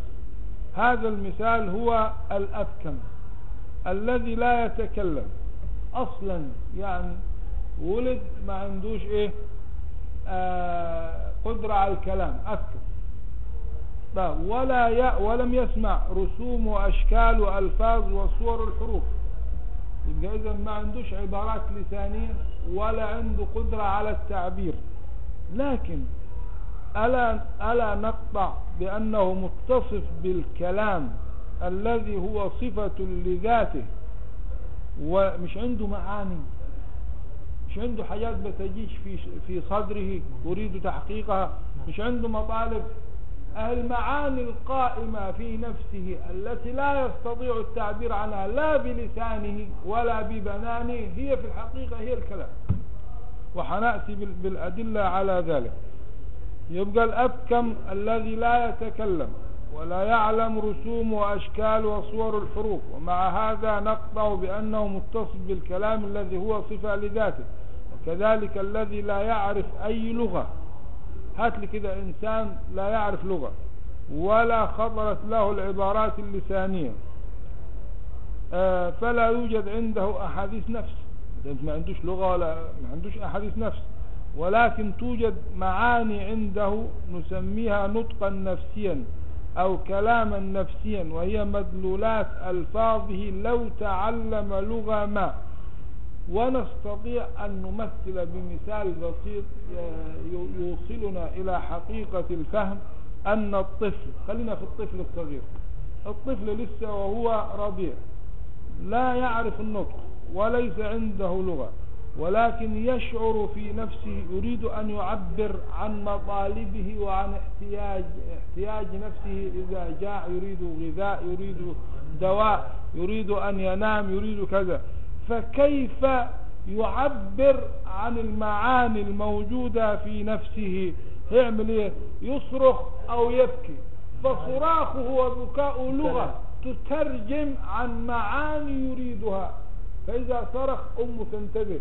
أول حاجة توديه مباشرة على الثدي إذا رفض يبقى حاجة تاني لحد ما تعرف تترجم الصراخ ده إلى إيه؟ عندها كذا وسيلة عندها ال- الثدي عندها مثلا النوم آه، عندها ممكن هو مش عاوز ياكل يشرب عاوز يتقل عاوز يتحرك عاوز يميل على الجنب الثاني فتروح تحطها على كتفه يروح ساكت. آه لما لما يحطه على يروح يصرخ تاني يعني معناها مش عاوز يجلس الجلسة شوف كلمة مش عاوز يجلس. هذه الجلسة أو ينام مش ده إيه ده إيه مش معانا. ترجم عنها بصراخه أو بايه بعد شوية لما يعرف يتكلم مش هي... مش هيصرخ ده هي... هي... هيقول بالكلام. أفرض ما يعرفش يتكلم هيشير بالاشارة يعني يستطيع بأي وسيلة. يبقى هذه الوسائل هي الصراخ والبكاء والأصوات واللغات والكتابة والإشارة. مش هي الكلام إنما الكلام هو المعاني التي يريدها الإيه؟ الطفل القائمة في نفسه قبل أن يعرف أي لغة ولا أي صوت ولا أي حرف. فعندما يصرخ أو يبكي أو يفعل أي وسيلة ممكنة له فهذا يدلنا على أن الكلام ال- النفسي موجود وحقيقي. الكلام ده معناه إيه الذي قلناه؟ يريد أهل السنة أن يقولوا لنا ببساطة إن الكلام ليس منحصرا في الأصوات والحروف كما قال المعتزلة. والدليل على أن هناك أحاديث نفس ووراء أحاديث النفس معاني كامنة وموجودة إيه؟ في النفس. ده بل, بل بالله عليك في معاني في نفس الإنسان لا يستطيع أن يعبر عنها أبدا. ولذلك قالوا الصحابة نجد في أنفسنا ما يتعاظم أحدنا أن يتفوه به يعني ممكن يكونوا بس الرسول انه موحى إليه فهم إيه هو اللي يتعاظم أن إيه؟ أن يتكلموا به مع أنهم لم يقولوه لرسول الله صلى الله عليه وسلم. قال أو قد وجدتموه؟ قال ذلك إيه؟ محض أو صريح الإيه؟ الإيمان. ما دامت أنتوا في قلوبكم إيه؟ تعظيم لمين؟ للخالق سبحانه وتعالى. يبقى اذا قرروا لنا إنه الكلام ليس منحصرا في إيه؟ في الأصوات والحروف. يبقى لما أهل السنة والجماعة أو أهل الإسلام بصفة عامة يطلقون على الله تعالى أنه متكلم يبقى يريدون معنيين اثنين لا ثالث لهما. واحد. هناك صفة له تعالى قائمة به ليست بحرف ولا صوت وهي الكلام النفسي وبها يسمى تعالى متكلما. ثانيا أنه توجد ألفاظ وكلمات تصدر ابتداء بتخليقه. شفنا بتخليقه أنها مخلوقة. وإحداثه وتنسب إليه تعالى ويسمى بها متكلما لدلالتها على بعض متعلقات كلام نفسه الأزلي. يبقى إذا قلنا عن الله تعالى إنه متكلم يبقى معناها الصفة النفسية التي ليست بحرف أو معناها الألفاظ والحروف التي لها بداية ولها نهاية والتي كانت بتخليقه تعالى ابتداء دون واسطة حتى الملك. بدليل إحنا بنضيف الكلام إلى الله تعالى القرآن مباشرة مع أنه له بداية ونهاية وحروف وأصوات. لما يجي واحد يقول أنتوا كده كأنكم عملتوا زي إيه زي الحديث القدسي. قلتوا إيه؟ آه المعنى اللي هو من عند إيه؟ واللفظ ليس من عند الله. ما دام أنتوا قلتوا الألفاظ مخلوقة قل له خد بالك. صح أنها مخلوقة لكن هل مين اللي خلقها؟ مين اللي ابتدأ خلقها مباشرة لم تضف إلى إلى جبريل حتى ليست من من تأليف جبريل ولا من تركيب جبريل. بدليل أن الله تعالى رد على المشركين لما قالوا إيه؟ آه إن هو إلا إيه؟ إن هذا إلا قول البشر وليس قول بشر وليس قول ملك. خلاص كده؟ وأيضا ليس إيه؟ قول بمعنى لفظ لله. هم اللي مين؟ قال لك لأنه تعالى أنشأها كده بخلقه ها؟ ولكن مين اللي بلغها بلغها الملك؟ لا بقول لي كده القرآن الكريم ده مش ربنا قال إنه لقرآن إيه؟ ها؟ مجيد. في إيه؟ يبقى القرآن في اللوح. طيب إذا كان اللوح نفسه مخلوق يبقى ما في المخلوق يبقى إيه؟ مخلوق يبقى المكتوب في اللوح ده اللوح نفسه مخلوق ولا ولا اللوح خالق؟ لا مخلوق. النبي اللي قائم بالخالق إيه؟ الصفة القديمة مش اللفظ. يبقى إذا أضيف إلى غير الله تعالى يعني إلى اللوح أو إلى إلى الملك مثلا قال تعالى إحنا بنقول القرآن قول ربنا أو كلام ربنا مع أن الله تعالى يقول في سورة الحق إنه لقول رسول. مش كده؟ فلا أقسم إنه لقول يبقى الألفاظ جاء بها الرسول اللي هو الملك جبريل ليس من نفسه ولكن خلقها الله له وابتدأ له وبلغها. دون أن يكون له دخل في تركيبها ولا تركيبها ولا إيه تأليفها ولا تصنيفها. يعني بلغها كده خدها من اللوح المحفوظ.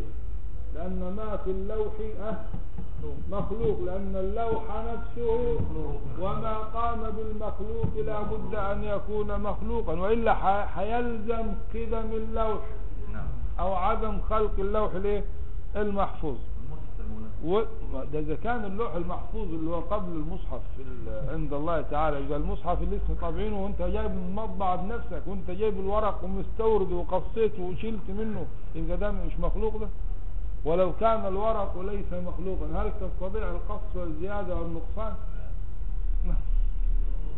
وبهذا يكون أهل السنة والجماعة قد أخذوا من كل مذهب أخذوا من كل مذهب أحسنه وردوا باطله يعني معناها خذوا أحسن ما عند المعتزلة وأحسن ما عند الكرامية. وأحسن ما عند غيرهم ولا يكون مذهبهم مجرد تلفيق كما يتهمهم بعض الناس لأن الله تعالى يقول في سورة الزمرة بعد قل يا عبادي يقول إيه؟ واتبعوا إيه؟ أحسن ما أنزل إليكم. مع أن ما أنزل إلينا أه من ربنا كله أحسن. لأنه ما فيش مثلا يعني إيه؟ يعني معناها اتبعوا الأحسن وما تتبعوش الحسن مثلا خذوا الأحسن. الذين يستمعون قالوا فيتبعون إيه؟ أحسن. قالوا ما هو ده كله من عند الله لأن الخطاب المين لجميع المكلفين وفيهم أهل الكتاب والتوراة والإنجيل هي إيه؟ هي حسنة لأنها من عند الله ولكن القرآن أحسن لأنه الكتاب المهيمن. يبقى يبقى معناها التوراة حسن والإنجيل حسن وكل ما جاء من عند الله لكن إيه الأحسن؟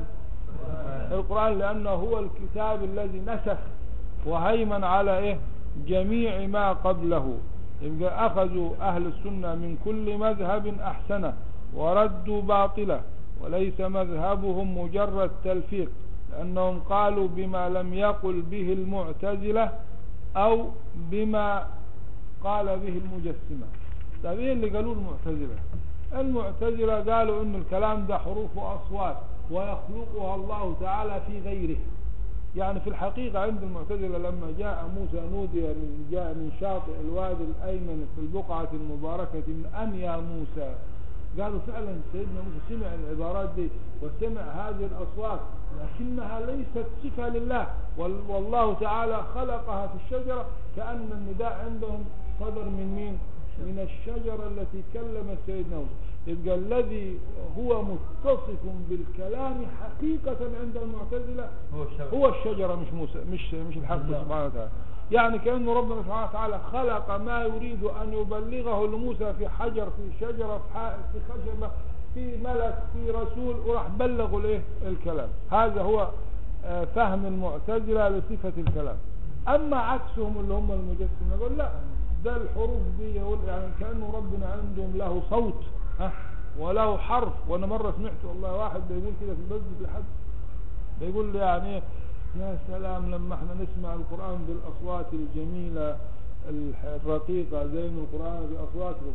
فما بالك لما نسمعه في الجنة من سيدنا جبريل؟ وكمان ما أجمل وما أعذب لما نسمعه بصوت رب الع- نسب الصوت إلى الله مع أن الصوت ينعدم وله بداية وله إيه؟ وله نهاية. وكان فرحان ومبسوط إنه قال لما يسمع صوت ربي هيغشى عليه من الإيه؟ التعلق و و و ويسكر كده ويقرب من الإيه؟ الفرحة. منين جبت؟ هل يوجد في القرآن صوت لله؟ ولا في السنة؟ حتى الحديث البخاري ليس فيه الضمير ليس فيه بصوته. يعني لم تسند له الأصوات إلى الله تعالى.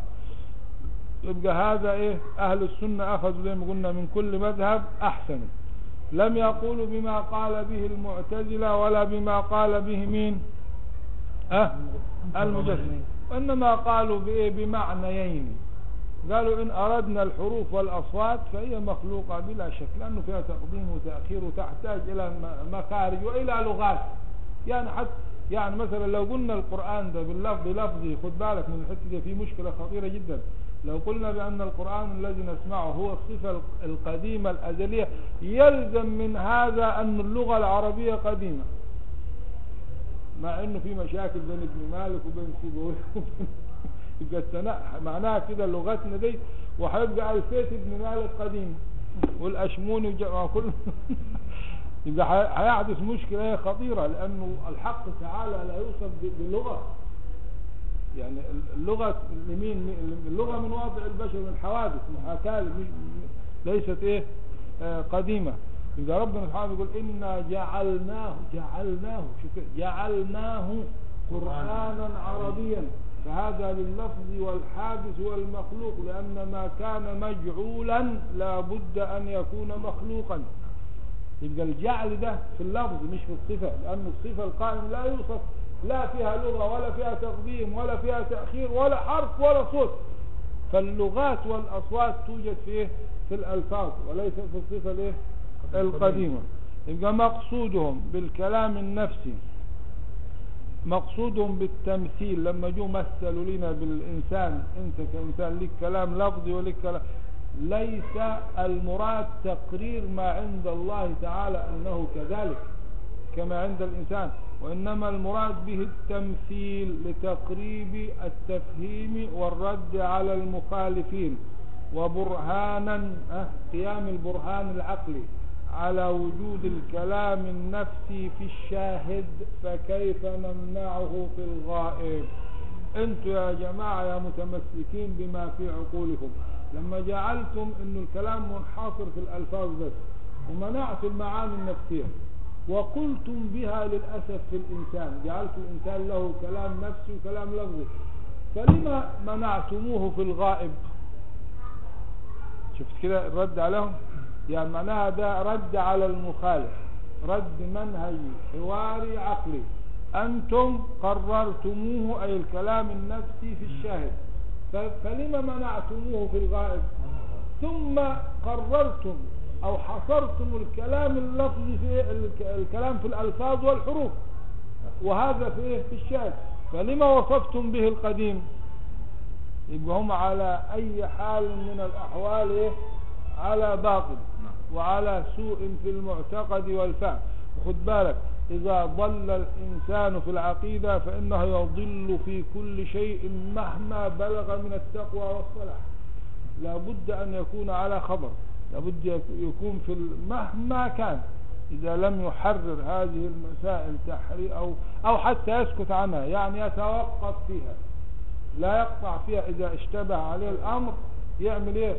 فليقطع بما عند الله فيكون ناجيا. كما قال الإمام الشافعي رضي الله عنه آمنت بالله وبما جاء عن الله على مراد الله وآمنت برسول الله.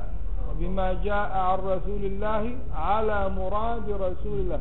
يعني إذا اشتبه الإنسان ولم يستطع عقله أن يقبل هذا الشيء أيوة فليقل أقطع بأن الحق هو ما عند وآمنت بما هو عندك دون أن أعرفه. وخلص. أفضل ما تروح ورا فلان ورا التلفزيون ورا الله وتدخل نفسك في مصيبة ليه؟ خليك إيه؟ مع التفويض. والتاني هيقول أنا ما اعرفوش ولا شفتوش. ده هو اللي شافني في التلفزيون. أنا ما شفتوش. الشا... هو في الشاشة مش شايفك. ده أنت اللي شايفه. فهيتبرأ منك ومن التلفزيون نفسه اللي هو قاعد جوا.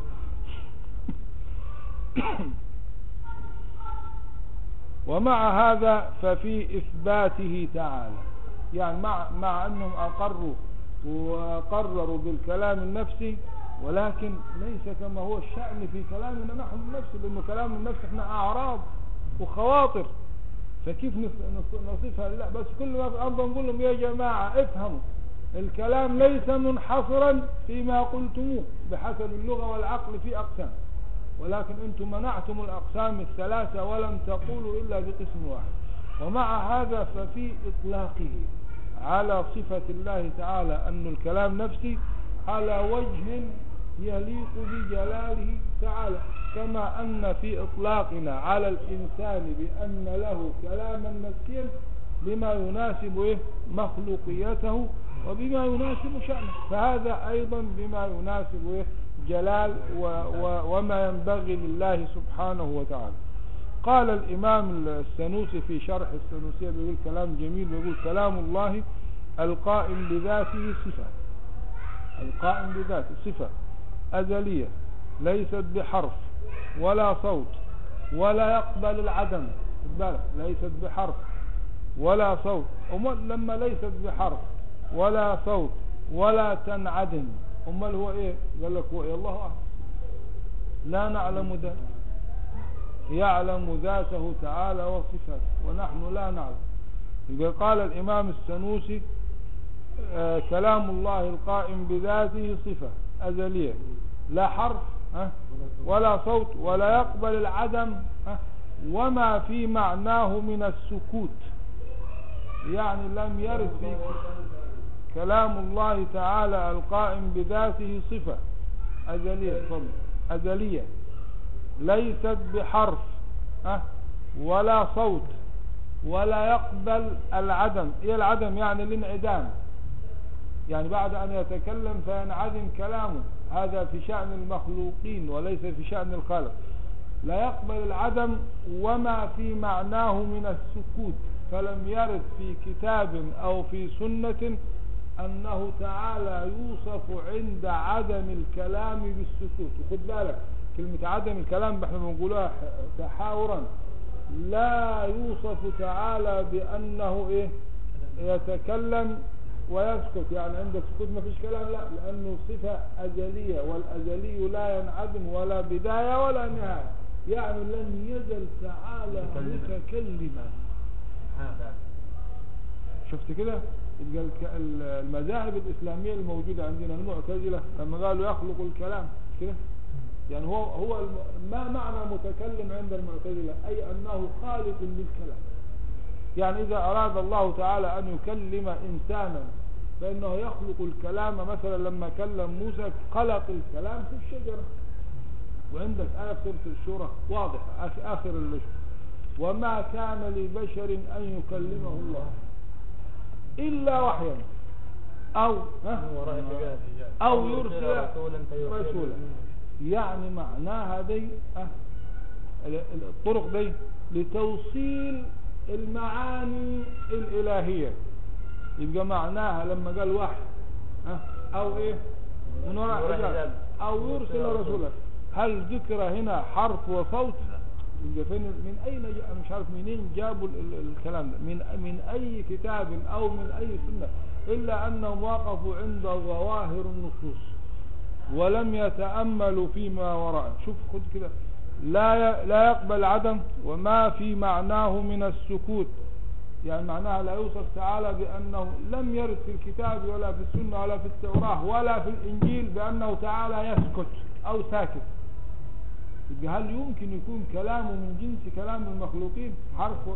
لأنه ما إذا كان الكلام حرف وصوت لا بد أن يتخلله السكوت. هل في واحد مهما كان نفسه حتى ولو كان نفسه ساعتين هيتكلم على طول مش هيسكت خالص مش هيتنفس. مش هيفصل. ما فيش خالص. ده معناه ده بالنسبة لنا إنما الصفة الثانية فوق ما نحيط فوق ما تحيط به العقول. إذا كان لا ليس في معناه من إيه؟ من السكوت. ولا التبعيض. هي معنى التبعيض. يعني معناها أنت بتقول مثلا جملة بتقولها كلمة كلمة تبعضها يعني. إذا جاء محمد تقول إيه؟ إذا جاء محمد. عملت إيه بعضت الكلام. يعني خليت الكلام بتاعك أضعاف. ما فيش كده عند ربنا. ولا التقديم ولا التأخير. فأنت إذا قلت بسم الله الرحمن الرحيم لازم تقدم باسم وتؤخر لفظ الجلالة. وبعدين تجيب الرحمن وبعدين الايه يبقى في كلامك فيه تقديم وفيه تأخير. تقدم إيه؟ تقدم الموصوف على الصفة. تقدم المعطوف عليه على العطف تقدم المبتدأ على الخبر لكن هذا لا يوجد في الصفة الإلهية. ما فيش فيها تقديم. لأنه لو كان هناك تقديم وتأخير يبقى معناها المقدم ها هو الأول والمؤخر هو الإيه؟ الثاني. يبقى معناها الكلام ده فيه بداية وفيه نهاية وكلامه تعالى أزلي لا بداية ولا إيه؟ ولا نهاية. ولا التقديم ولا التأخير ثم هو مع وحدته. يعني كلامه تعالى إيه؟ يتصف بالوحد. إيه الوحدة؟ يعني مفيش تقديم مفيش تأخير مفيش ترتيب مفيش تعاقب. آه وهو مع وحدته متعلق أي دال أزلا وأبدا على جميع معلوماته. لأن الشيخ بيقول إيه؟ العلم جزما وال فالعلم جزما والكلام السامي تعلق بسائر الأقسام. يعني الكلام متعلق بإيه والعلم. كل صفة من الصفات الإلهية صفات المعاني لها متعلق. ما عدا صفة واحدة فقط اللي هي الحياة. القدرة لها تعلق والإرادة لها تعلق والسمع له تعلق والبصر له تعلق. لكن من الصفات ما يتعلق ببعض الأقسام دون بعضها ومن الصفات ما يتعلق بالأقسام كلها. إيه اللي يتعلق بالأقسام الثلاثة؟ العلم والكلام. لا.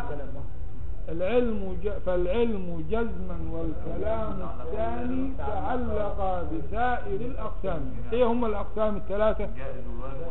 الجائز والواجب والمستحيل. يبقى متعلق يعني دال أزلا وأبدا على جميع المعلومات التي لا نهاية لها. وهو الذي أه، عبر عنه بالنظم المعجز المسمى بكلام الله حقيقة لغوية. يعني إيه معناها في اللغة؟ في حاجة اسمها المشترك في اللغة. المشترك يعني في مشترك لفظي في مشترك معنوي. يعني معناها لفظين يشتركان في معنى. ها أو يعني اللفظ واحد. اشتراك في اللفظ ولكن الاختلاف في المعنى. مثلا في قوله تعالى إن الله وملائكته يصلون. اللفظ واحد. يصلون يعني الله يصلي والملائكة ولكن المعنى غير واحد. هل الصلاة من الله زي الصلاة من البشر؟ هو الذي يصلي عليكم وملائكته.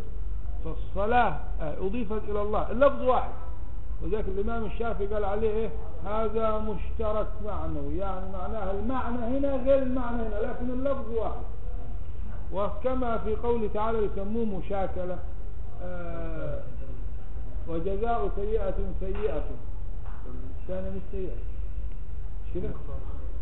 المشاكلة وكذلك وكذلك في إيه؟ نسوا الله. لو أنت فسرت المعنى واحد يبقى معنى كده ان ربنا بينسى يعني ع- عاملهم بإيه؟ بمقابل. يعني النسيان هنا معناها الإهمال. يعني عاملهم بجنس ما ما يريدون. يبقى خد بالك عشان نخلص الذي إيه؟ عبر عنه بالنظم. المعجز المسمى. يعني معناها يع- يعبر عن الصفة النفسية بالإيه؟ ب- بال بما هو موجود أو مكتوب في المصاحف. حقيقة اللغوية لوجود كلامه فيه بحسب الدلالة لا بالحلول ويسمي ويسمى أيضا قرآنا. وكن هذه الصفة وسائر صفاته تعالى محجوب عن العقل كذاته تعالى وصفاته الباقية. يعني مثلا وصلنا إلى إلى شيء مقرب للعقول إنه آه، اشتراك في إيه؟ في اللغة بين معنيين. طيب إذا كان هنا يسمى كلام وهنا يسمى كلام.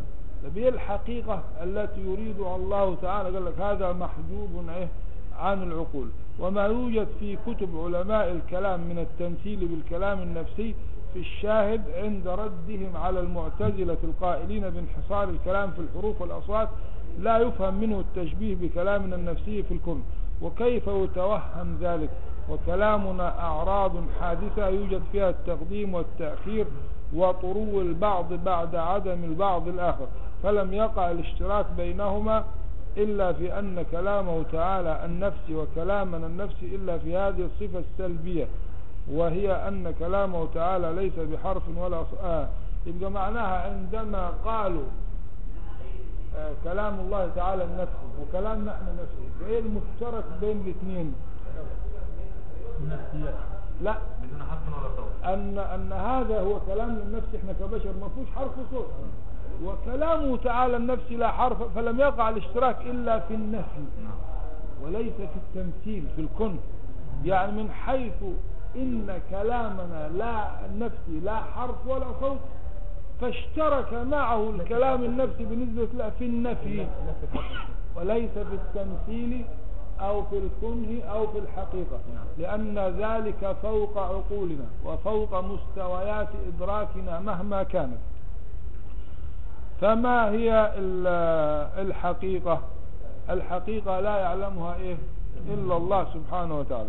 فإذا تقرر ذلك وأن كلامه تعالى النفسي ليس بصوت ولا حرف ولا حديث نفس كما هو أحاديث النفس عند الإنسان وأن القرآن الكريم يطلق على أمرين. على الكلام النفسي وعلى الكلام اللفظي المنزل على سيدنا محمد. تعالى كده عرف القرآن. ها؟ الكلام الل- اللفظ اللفظ العربي ها؟ المعجز. هذا التعريف ينطبق على إيه؟ على المخلوق اللي هو ما بين دفتي المصحف ولا ينطبق على الصفة الإيه؟ القديمة الأزلية. أول ما أول أول كلمة في التعريف اللفظ. والكلام النفسي ليس إيه؟ ليس لفظ. طيب يبقى القرآن يطلق على إيه؟ على أمرين على النفس. طيب كيف يطلق القرآن الك- الكريم على النفس مع أن النفس ليس حرفا ولا صوتا؟ مع أن التعريف الموجود في الكتب عندنا لا ينطبق إلا على الحادث المخلوق. يطلق باعتبار الدلالة. لأن هذه الألفاظ والحروف المخلوقة تدل على الصفة النفسية القديمة. ولذلك لما قالوا العبارة الموجودة في البخاري والإمام أحمد وفي كتب السلف القرآن غير مخلوق وضعوا هذا القيد فقالوا القرآن كلام الله غير مخلوق. يبقى القرآن اللي هو غير مخلوق اللي هو باعتباره الصفة القائمة إنما باعتبار الحروف والأصوات لا يمكن أن يكونوا أرادوا هذا الإيه؟ المعنى. ولذلك لا تجد في كتبهم أو في عباراتهم القرآن غير مخلوق ولكن تجد هذا القيد القرآن فكأني أنا لو سألتك لماذا قيدوا لماذا وضعوا هذا الوصف وقالوا القرآن كلام الله؟ والقرآن لا يكون غير كلام الله الكلام منه. فوضعوا القيد ليه؟ ليفرقوا بين المعنيين. وليبين لك أن المراد بغير مخلوق هو الصفة النفسية القائمة بذات الله. أما الحروف والأصوات فإنها حادثة وإيه؟ ومخلوقة لا شك. يبقى القرآن يطلق على إيه؟ على أمرين على الكلام النفسي وعلى الإيه؟ اللفظي. طب ومين ال- اللي نزل على سيدنا محمد؟ نزل اللفظي ولا نزل النفسي؟ ما دام وصف بالإنزال إنا أنزلناه. والصفة القائمة بذات الله تعالى لا تنزل. التنزيل يبقى فين في المخلوق اللفظي زي إن وأنزلنا الحديد فيه إيه؟ زي أنزلناه في ليلة القدر. يبقى الموصوف بالإنزال مش هو الصفة وإنما هو إيه؟ اللفظ. يبقى بهذا القرآن لفظ مشترك يطلق على المقروء ها؟ ويطلق على القرآن الذي هو حرف وأصوات. والإمام اللي هو اسمه آه، بتاع المواقف الإيجي قال هناك فرق بين المقروء وبين القراءة وبين المتلو وبين الإيه؟ يعني عاوز يقول لك المتلو قديم والتلاوة إيه؟ حديث ويبقى القرآن لفظ مشترك يطلق على المقروء ويطلق على القراءة التي ولما وقع الاشتراك في الاسم أو آه، ارتفع التوارد بالنفي والإثبات على مورد واحد. فإن ما أثبتوه معجزة ها؟ المعجزة ده القرآن اللي هو معجز متحدى. مش هو القديم الصفة القديمة. ده هو المخلوق لأن المعجزة فعل مش كده؟ نعم. المعجزة مش صفة المعجزة فعل. واضح كده؟ ما أثبتوه معجزة لا نثبت له القدم وما أثبتنا له القدم لا يثبتونه معجزة. يعني إحنا بنثبت إن القرآن فيه إعجاز لكن بنثبت لمين؟ للصفة ولا لل- للمخلوق. للمخلوق. وما أثبتوا له الايه القدم لا يثبتونه إيه؟ معجزة. يبقى ارتفع إيه؟ التوارد مع أن اللفظ المنزل حادث ومخلوق إلا أنه يقال له كلام الله على هذه الجهة جهة الدلالة أي على بعض متعلقات كلام الله تعالى القديم والمنزل ليس نفس الصفة بل هو أه التعبير المعبر عنها الألفاظ وال- والأصوات الدالة المعبرة عن الصفة؟ القديمة يبقى كده فهمنا يعني فهم نحتاج بعده إن شاء الله بس إلى آه، قراءة باقي الكلام والتعريفات وإذا كان في أسئلة نجهزها بإذن الله تعالى ونبدأ في الأسبوع القادم. في حد؟ فضل السمع ولا في لا لسه باقي حاجات في صفة الكلام. نحتاج إلى ترتيبها فقط. يعني الآن وصلنا إلى إيه؟ حاجة مهمة جدا. مش إحنا بنصف القرآن بانه معجزة مش كده؟ في إعجاز؟ مش كده؟ ده بعرف المعجزة كده أمر يعني المعجزة يعني المعجزة فعل مش كده والقرآن والكلام الله صفة له وفي فرق بين الصفات وبين الأفعال إذا ما أثبتوه معجزة لا نثبت له القدم لأن القديم لا يتحدى به التحدي يكون بإيه من جنس حاجة من جنس ما برعوا فيه طب هم برعوا في حاجة أزلية ده, استحالة لأنه ما يلزم على كده أن هم يكونوا إيه؟ أزليين. يبقى برعوا في حاجات إحياء ال- الأسماء الحاجات اللي فيأتي لهم المعجزة من جنس ما تفننوا فيه. يبقى ما يثبت أنه معجزة لا يطلق عليه صفة. وما يوصف بأنه صفة لا يتحدى به. خلاص كده؟ يبقى وصلنا إلى النتيجة المهمة أنه في معنيين. لكن إحنا هنا بندرس في الأزهر وأنتم طلاب كليات وعارفين. هذا الكلام لا يقال مع العوام ها أو غير المتخصصين. بمعنى كده هيقول لك انت بتنفي عن اللي في المصحف انه كلام الله حقيقة. نقول الكلام على معنيين. نقول كده كلام الله كما أضافه الله تعالى. ده إحنا مش بس على القرآن نقول كلام إحنا بنقول على المسجد بيت الله. مع إنه إحنا اللي بنيناه وربنا مش ساكن فيه مثلا.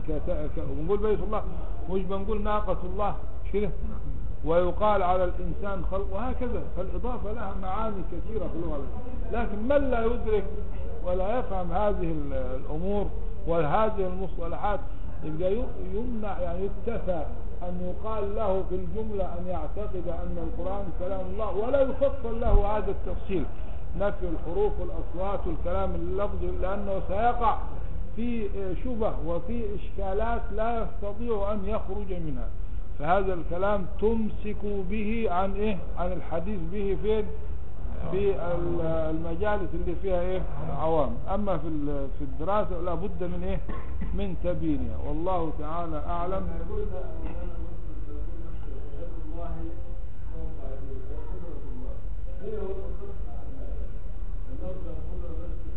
في بالنسبة للمستعدين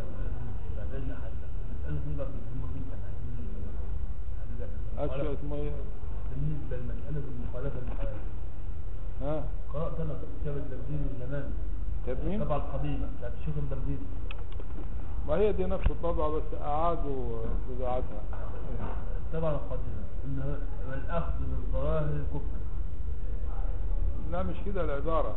العبارة دي عند السنوسي يقول من أصول الكفر من أصول الكفر. يعني أصول الكفر عنده إيه؟ ستة. منها إيه؟ الأخذ بظواهر النصوص. ليه جعلها أصلا من أصول الكفر؟ لأنه سيلزم التناقض في إيه؟ نصوص القرآن مع بعضها البعض. مش كده؟ نعم. فلو أخذ بظاهر قوله تعالى أأمنتم من في السماء؟ ثم جاء إلى قوله تعالى وهو معكم أينما كنتم. هنا يبقى في تناقض. هل هو في السماء أم معنا؟ هنا في هذه الحالة هيحدث الاختلاف والتناقض وقس على ذلك كثير من الإيه؟